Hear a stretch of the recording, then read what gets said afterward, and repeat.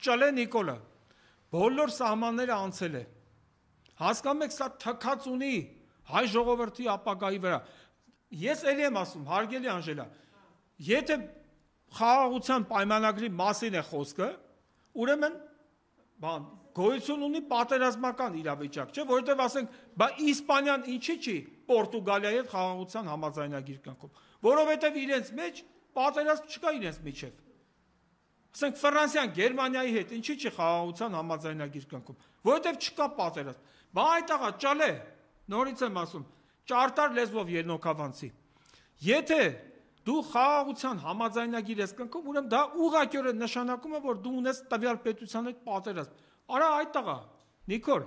պատերազմող երկրի ղեկավարը հեծանիվ է քշում։ Դուք հասկանում եք սրա անլրջությունը։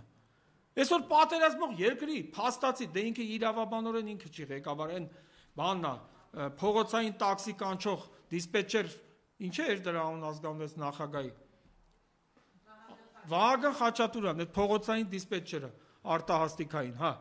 Ուրեմն սա է փաստացի դե ֆակտո Նիկոլ Փաշինն է, Ճալե Նիկոլն է Հայաստանի ղեկավար։ Պատերազմող երկրի ղեկավարը հելում առավոտները հեծանիվ է քշում։ Ես այն օրը մի հրաապարակում արեցի տանից, որ մի երիտասարդ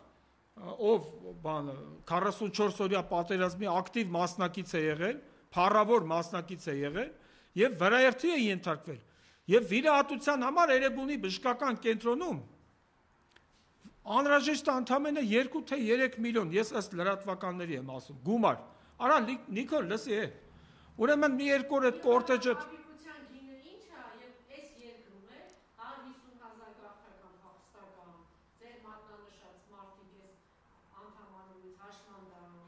Անժելա ջան, հասկանում եք, 2-3 միլիոն դրամը իրա երևի երևի 2-3 միլիոն դրամը իրա մեկ օրվա կորտեժի շարժն է, իր այդ անիմաց դեգերումներով հեծանիվ քշել, ստենդը գնալ ես իմ ինչ Հա Այո, հիմա այդքան փողը ծախսում է իր շարժի վրա այդ վախկոտը։ Ու այն օրը Արարատի մարզում էինք հրավիրված, ասացին, որ ինքը ստեից մի օր անցավ, այս վերջ մի քանի օր առաջ։ Ուրեմն 100 քանիսի վրա, 150-ի վրա արագությունը 30 ավտոյով։ Արամումից ես վախեցած։ Չէ, գիտեք ինչ։ Ես Նիկոլին մի հատ խորհուրդ ունեմ տալու։ Մի վախեցի ոչ մեկից։ Ասեմ ինչի։ Որովհետև դու որ հայլում ես նայում ես, ճալե։ Ու չես վախից ինքն բանալում, ինսուլտ ստանում։ Ուրեմն դու ոչ մեկից էլ կարաս չվախենաս։ Ուրա։ Դատի։ Չէ, ես հեսա կասեմ, ես տենանք ինչն է։ Ախ։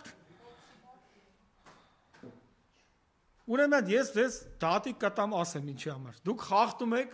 Սահմանադրության 12-րդ հոդվածը, համաձայն որի համաձայն որի բոլորը պարտավոր են ապահովել շրջակա բարենպաստ միջավայրի մյուսների իրավունքի իրականացումը։ Հիմա էսի իմ համար բարենպաստ միջավայր է։ Բա կմտածեմ ձեզ դատի տամ թե ոչ։ Գիտեք ինչ, մենք ասեմ ձեզ, մենք խնդում ենք, որ չլացենք, այս իրականության մեջ ենք